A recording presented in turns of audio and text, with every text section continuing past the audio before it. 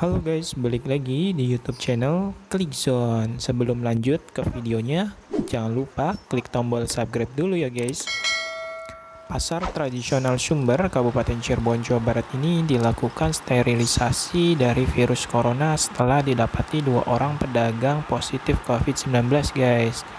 Sterilisasi dengan menyemprotkan cairan disinfektan ini dilakukan dengan mengerahkan dua unit mobil pemadam kebakaran Kabupaten Cirebon.